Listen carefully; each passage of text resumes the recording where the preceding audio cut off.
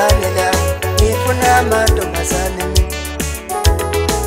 selakufile kule ndawo yenu ngibona amajita wodwa babubhongane mhlambe basala kuyisela ngonyako leshaya amabhola letibala mhlambe basala kudisemba ngonyako mele leshaya amabhola letibala thina magu amasasishaya empheleni ikibala ikibala selokhu kile kule ndawe ngibona majida wodwa bakubongani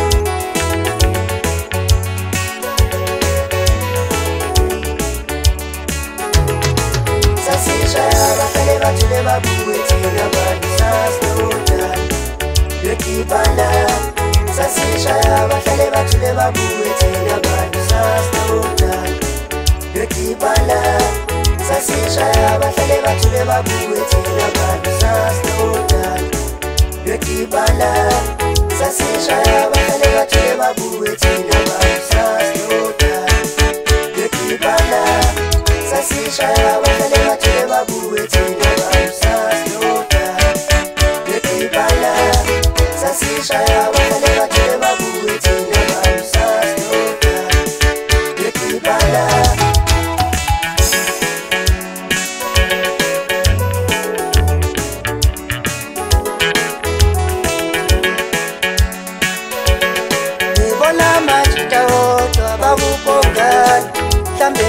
ngala buti semba ngonyabo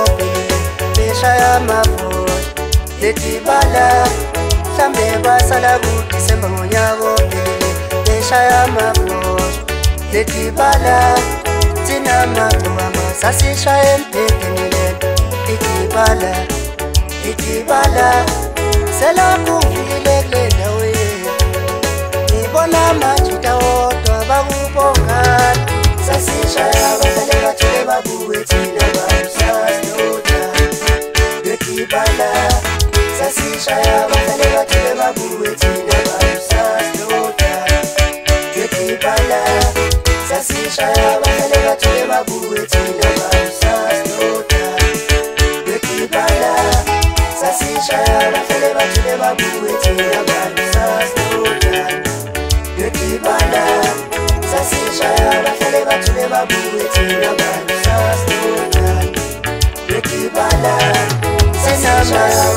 Pasensya and baby na ba? Sa ikibala,